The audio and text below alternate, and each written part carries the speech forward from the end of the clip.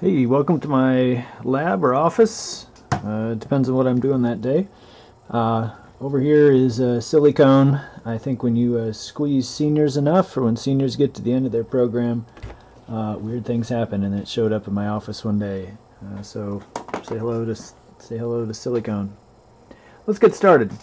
Uh, right now, we're going to look at a power supply, and I'll zoom in here.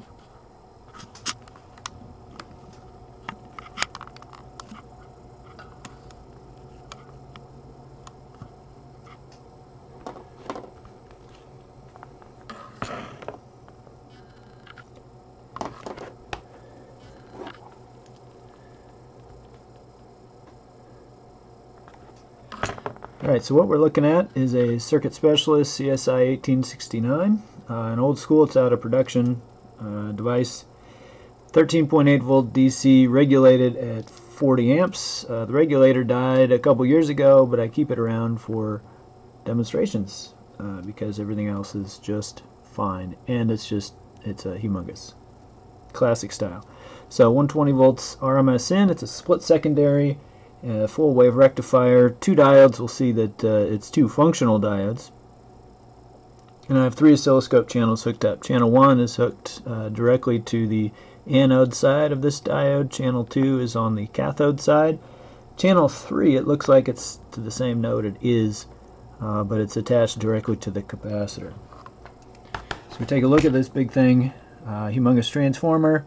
This is the secondary, split secondary, two windings, uh, one secondary, another secondary. These are tied together at the uh, capacitor node.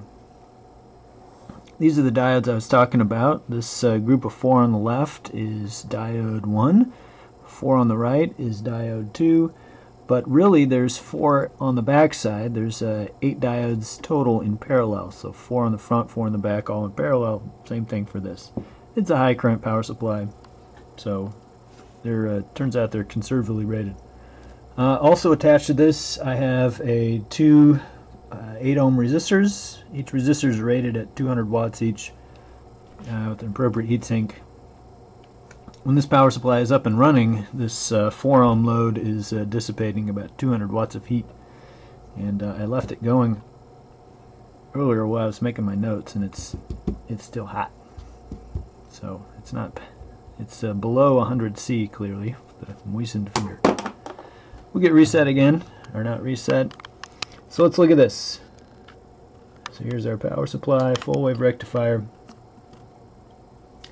Here's our power supply, full wave rectifier. I want to know uh, that capacitor said it was 47,000 microfarads. Is it really 47 microfarad? 47,000?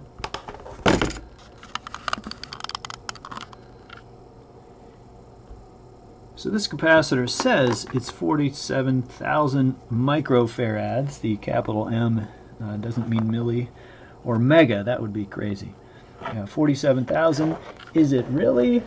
I don't know. I kind of doubt it, really. But we're going to do it. We're going to uh, use a special technique, uh, RC discharge, switch this off and watch what happens as this discharges. So here's a little theory about this. Um,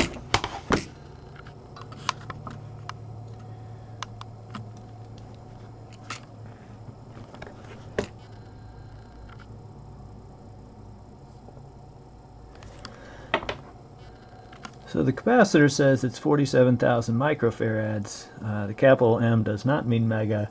It doesn't mean milli. It means micro. It's just how the capacitors are labeled. Always threw me for a loop too. Uh, it says it's 47,000. Is it really?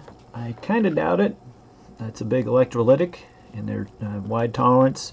We're going to use RC discharge. I'm going to switch this power supply off and we'll watch the uh, capacitor discharge into the 4 ohm resistor. Classic exponential curve. Here's the math. Final version. uh, initial condition. Exponential minus t. RC. Time constant is R times C. Gives us units of seconds. Bit of algebra. We get this here. Well, this is, I mean, we can plug and chug, measure delta t, initial, final, plug in 4 ohms. But uh, let's use a little shortcut. Uh, if I find a delta T such that delta T equals RC, we call that one-time constant, and plug in uh, one-time constant here, we get that ratio. Uh, the final is 36.8% below the initial version. I'm going to start off, uh, we solve for that delta T 37%, or I'd rather plug this into my calculator. I'm going to use in the cursors in a minute the VI as 20 volts. If VI is 20 volts, I move my other cursor over to the y-axis is 7.36 volts, and the time is one time constant. Plug that into the calculator, and then we're done. So, let's see what we let's see what we measure. Reset.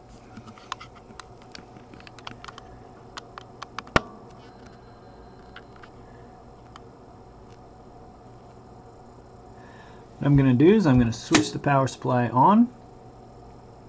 Power supply is switched on. Now when I switch it off, it will trigger the scope.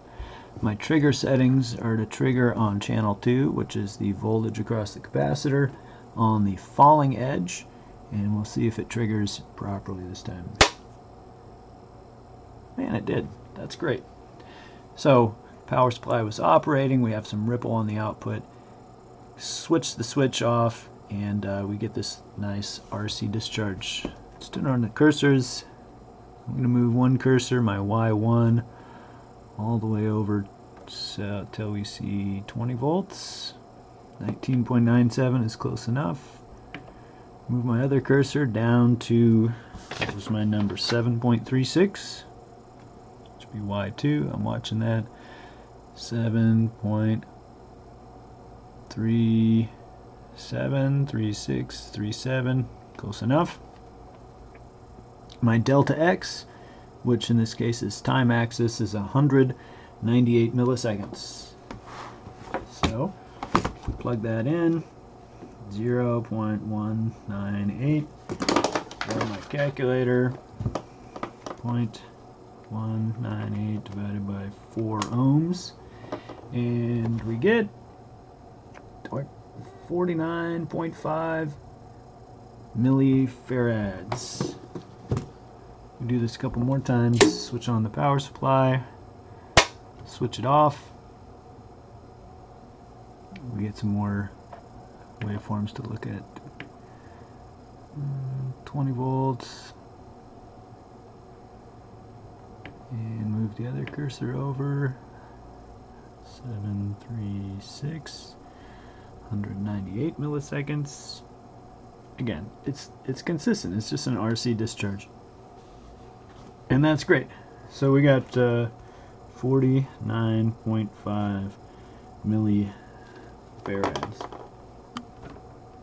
and actually that's been changing with temperature. I measured 48 earlier. It's pretty close. I'm actually impressed.